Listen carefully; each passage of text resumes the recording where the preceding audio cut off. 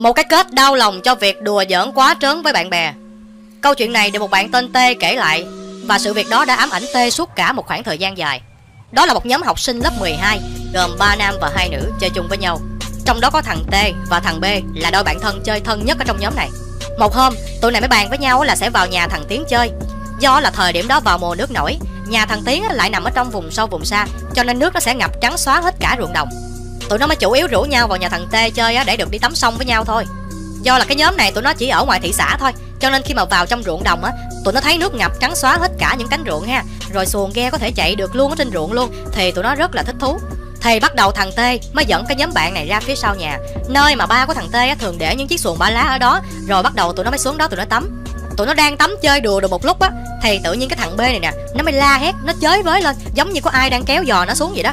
Làm cho cả nhóm rất là hoảng loạn rồi kéo nhau lặn xuống tìm nó mà cả buổi trời không thấy nó. Lúc này tìm hoài không thấy thì mấy đứa con gái nó bắt đầu nó bật khóc lên. Thì tự nhiên thằng phong trời đánh nó đâu á, nó ngoi cái đầu nó lên rồi nó cười sặc sụa. Lúc này cả nhóm bắt đầu hả, tức muốn lộn gan lên đầu vậy đó. Nguyên cả nhóm mới bắt đầu mắng đó nói trời ơi, mày chơi kiểu gì vậy? Mày giỡn kiểu này không có vui nha mày. Tụi tao đang sợ mà mày giỡn kiểu gì vậy? Lúc này thì tụi nó mới khựng lại vài giây. Thì thằng b nó cũng biết nó giỡn hơi quá trớn rồi cho nên nó cũng xin lỗi mọi người. Rồi tự nhiên nó thốt lên một câu làm ai cũng nổi da gà hết á. Nó mới nói là ủa? Rồi mai mốt ví dụ như tao có chết thiệt á rồi tụi bay có kiếm tao giống gì nữa không? Lúc này cả nhóm mới quát nó nữa nói là trời ơi thôi không nói bậy nè mày. Thôi bây giờ đi xuống tắm tiếp nè. Không có giỡn vậy nữa nha. Chơi được một lúc á thì thằng t nó mới đề nghị là thôi bây giờ cả nhóm mình đừng có bơi nữa. Đi lên bờ chơi trốn tìm với nhau đi. Rồi à, tụi bay trốn tao đi tìm cả nhóm mới đồng ý. Lúc này thằng tê nó mới ngồi trên xuồng. Nó úp mặt lại, nó bắt đầu đếm. Lúc này thì bốn đứa còn lại, mỗi đứa tìm một cái chỗ để mà núp.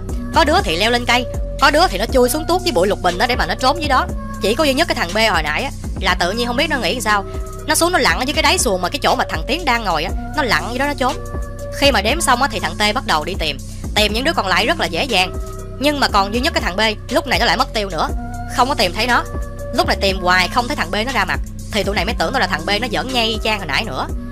Do là đã quá mệt mỏi với cái sự đùa dai của thằng b này rồi, tụi nó mới nói vọng xuống sông á, nó mới nói là thôi lên đi mày ơi, tụi tao nghỉ chơi rồi, chơi gì có con trò mà chơi hoài. Và lúc này đáp lại là một cái sự im lặng. Thằng phong nó mất tiêu, không thấy nó đâu cả. Tụi này mới nói vọng xuống sông một lần nữa, tụi nó mới nói là thôi mày trốn hoài đi nha, tụi tao đi lên tụi tao đi hái trái cây ăn đó, mày mà không lên là tụi tao bẻ ăn hết gán chịu nha. Nhưng mà đáp lại vẫn là một cái sự im lặng. Không thấy thằng phong ở đâu luôn. Lúc này thì cả nhóm mới bỏ đi hái xoài rồi bỏ mặt thằng b ở đó không thèm đi kiếm nữa. Nhưng mà tụi này đâu có biết rằng là cái thằng b á, khi mà nó chui xuống cái đáy xuồng, nó trốn ở dưới đó, thì nó đã bị chuột rút, rồi nó không có ngoi lên được. Và thế là cái sự vô tình dẫn nhây của thằng b á, làm cho cả nhóm bạn của nó bỏ mặt nó ở ngoài cái dòng sông lạnh ngắt đó. Một lúc lâu sau khi mà tụi này ra ngoài đó hái xoài, ăn hết xoài rồi á, thì vẫn không thấy thằng phong lên. Mà cũng không biết nó đã lên nhà chưa, mà tại sao không thấy nó ra ngoài này. Lúc này là cả nhóm biết chuyện chẳng lành rồi, cho nên nó kéo nhau ra cái chỗ tắm hồi nãy mấy thằng con trai á, thì nhảy xuống sông lặn tìm. Còn mấy đứa con gái á, thì nó mang theo những cái mé sông để mà nó đi kiếm coi thằng này có núp ở đâu dưới bụi lục bình nào hay không. Kiếm hoài kiếm hoài mà không thấy nó đâu hết. Do đó thì cả nhóm mới bắt đầu tìm sự giúp đỡ của những người hàng xóm. Mọi người bắt đầu lặn tìm lặn tìm cho tới khoảng 2 tiếng sau đó, thì mọi người mới tìm được xác của thằng b nó bị mắc kẹt ở dưới đáy xuồng á. Ai nấy cũng đều hoảng sợ tột cùng hết. Còn tụi này á thì nó chỉ đứng chết chân, nó nhìn xác của bạn mình thôi. Trong lòng của tụi nó thì ân hận vô cùng vì đã vô tình để lại bạn nó nằm ở dưới. Riêng thằng t á thì nó như muốn ngã quỵ xuống luôn. Tại vì thằng bạn thân của nó nấp ngay chăn cái xuồng mà nó đang ngồi lên luôn mà nó vẫn không hề hay biết. Bắt đầu thì tụi nó mới liên hệ người nhà của thằng b, đem xác nó về an táng. Tầm khoảng một tuần sau đó thì cả nhóm cũng đi học lại bình thường. Lúc này trước mặt thằng t á, thì không có đứa nào dám nhắc về cái chuyện đó nữa. Thằng t lúc này khi nó mất đi cái người bạn thân nhất á, thì nó cũng giống như cái người mất hồn vậy. Người thằng t bắt đầu gầy guộc xanh xao. Nó bắt đầu học hành xa xúc. Rồi cũng từ đó, những cái chuyện lạ liên tục xảy ra với cái nhóm bạn này có hôm thằng T đang đi vệ sinh á thì mới nghe thằng B ở phòng kế bên đó nó khóc. Mà nó khóc thúc thích gì đó khiến cho tụi này á hả sợ chạy thục mạng luôn. Có hôm á thì có đứa tan học về rồi tự nhiên nó mới phát hiện ra là nó bỏ quên đồ trong lớp. Quay lại lớp một mình á thì chuẩn bị ra khỏi lớp á. Tự nhiên cái cửa lớp nó đóng lại một cái rầm nó khóa lại luôn và không có mở ra được. Nó phải đập cửa rầm rầm rầm cho người khác nghe rồi người ta mới lại giúp nó. À, vô số những chuyện lạ xảy ra với cái nhóm bạn này nha nhưng mà đa số là chuyện nhỏ thôi. Chỉ có một mình thằng T cái người bạn thân nhất với thằng B á, là cái người gặp chuyện kinh khủng nhất thôi. Hôm đó là đúng 49 ngày của thằng B, thì cả nhóm mới lại nhà của nó để mà thắp hương cho thằng B. Tới lượt thằng T đứng trước bàn thờ để mà cắm nhang cho thằng B đó, thì nó mới phát hiện ra đó, giống như là cái di ảnh của thằng B đang nhìn trừng trừng vào mắt của nó vậy á. Mà ghê hơn nữa đó, là thằng T nó thấy trên mắt của thằng B á, có hai cái dòng nước đục ngầu nó từ từ nó chảy xuống. Bắt đầu nó chỉ biết ngã quỵ rồi nó lết từ từ nó rớt ra thôi. Lúc này cả nhóm mới không hiểu chuyện gì xảy ra hết, tại vì chỉ có mình anh thằng t mới thấy thôi, tụi nó không có thấy đêm hôm đó đó thì thằng tê đang ngủ. Bỗng nhiên trong lúc mơ mơ màng màng đó thì nó mới thấy thằng b nó hiện về. Nó đứng ở ngoài cửa phòng á mà nó nhìn thằng t bằng một cái cặp mắt đục ngầu. Mà cái vẻ mặt của thằng b vô cùng giận dữ. Thằng b nó mới gào lên á. Nó mới nói là mày Tại sao ngày hôm đó mày ở gần tao nhất? Mày là thằng bạn thân nhất của tao Mà tại sao mày bỏ tao? Mày không đi tìm tao? Thằng t lúc này nó sợ hãi tột độ luôn. Nó muốn thốt ra để mà nó xin lỗi thằng b. Nhưng mà lúc này cổ họng nó nghẹt cứng. Cả người nó cứng đơ luôn nó không thể làm gì được cả. Lúc này thì thằng b nó nói tiếp nó nói Tao dưới này lạnh lắm. Tao muốn cho mày đi theo để mày biết cái cảm giác lạnh lẽo của tao. Nói xong á thì thằng b nó biến mất.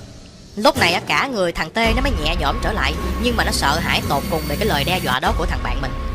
Sáng hôm sau khi mà đi học á thì nó sợ quá nó không có dám đem chuyện này kể cho đứa nào nghe hết tại vì nó sợ làm liên lụy tới những đứa khác và kể từ hôm đó là thằng T lúc nào cũng thấy cảm giác giống như là hai bên vai của mình đó, nó rất là mỏi.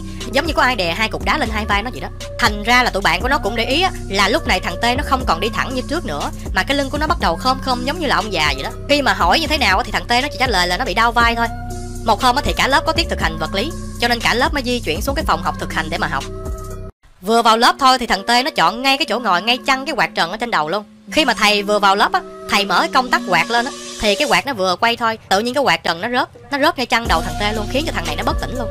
Cũng may là cái quạt trần này nó mới bắt đầu chuyển động nhẹ thôi nha, chứ nếu nó đã quay mạnh rồi đó thì không biết chuyện gì sẽ xảy ra với thằng Tê nữa. Nhà trường thì sau đó cũng xem xét sửa chữa lại cái quạt này, tại vì nói chung cái quạt này nó cũng đã bị cũ rồi, cái trường hợp này cũng không ai mong muốn hết. Lần đó thì Tê chỉ bị thương nhẹ thôi, không có ảnh hưởng gì hết. Nhưng mà vai của nó thì vẫn còn đau nhức nha. Cảm giác giống như là nó phải mang vác một cái cặp rất là nặng vậy đó hoặc là nó phải cõng ai trên lưng suốt một cái khoảng thời gian dài vậy đó. Cái vai nó rất là nặng. Khoảng một tuần sau khi mà chấn thương do cây quạt trần đó, thì thằng tê nó cũng đi học lại bình thường. Hôm đó đi học, khi mà tan học ra vừa ra tới nhà xe đó, thì thằng tê nó phát hiện ra nó đã làm đánh rơi cái chìa khóa rồi. Nó mới quay trở lại trong lớp á, nó tìm khắp nơi luôn vẫn không thấy. Khi mà mở cái cặp nó ra đó thì cái chìa khóa nó lại nằm ở trong cặp.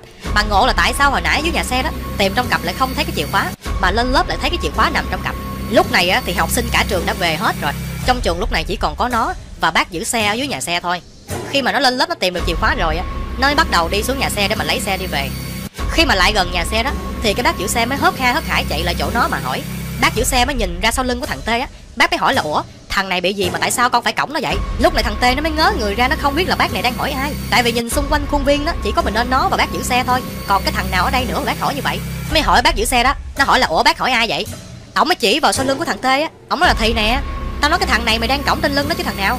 Ổng hỏi là làm gì mày cổng nó mà mặt mày nó xanh lè xanh lét vậy? Tới lúc này thì nó mới thật sự hiểu ra mọi chuyện rồi.